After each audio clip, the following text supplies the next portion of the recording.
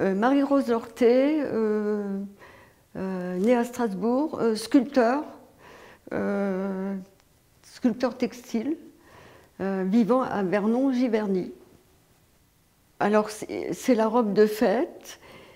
Il y, a, eu très peu de, vêtements ou de, d'œuvres qui parlent du corps dans toutes mes réalisations. Il y a eu euh, une toute première veste cage blanche, j'en ai fait une deuxième, après j'ai fait les maisons de fil, et tout à coup euh, j'ai commencé à faire la robe de fête. Donc j'ai pris euh, des supports acceptant les épingles, et à chaque petite tresse que je fais, je pitonne.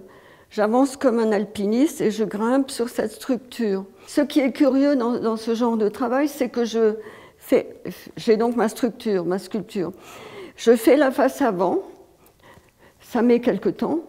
Hein. il, y a, les petites tresses, il y a, toujours quelque chose de solide, c'est les tresses, les nattes, qui sont doublées, qui font la structure, enfin la solidité. Après, il y a les, les réseaux intermédiaires qui sillonnent.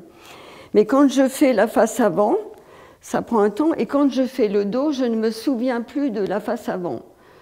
Je ne vais pas me mettre un miroir pour me copier. Je, réinvente autrement. Ça me demande effectivement une réflexion à la construction, puisque je fais le devant, le dos, à chaque côté il y a un morceau, et que tout cela, au moment de l'assemblage final, doit se clipper, s'assembler. Donc il y a six ou sept euh, opérations différentes pour arriver à avoir un vrai volume.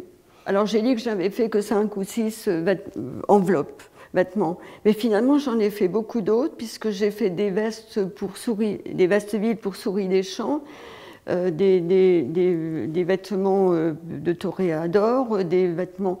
J'ai aussi fait euh, des pulls d'ange avec des ailes de rechange. j'ai fait de nombreux vêtements, mais ce sont des miniatures. C'est cependant toujours des volumes.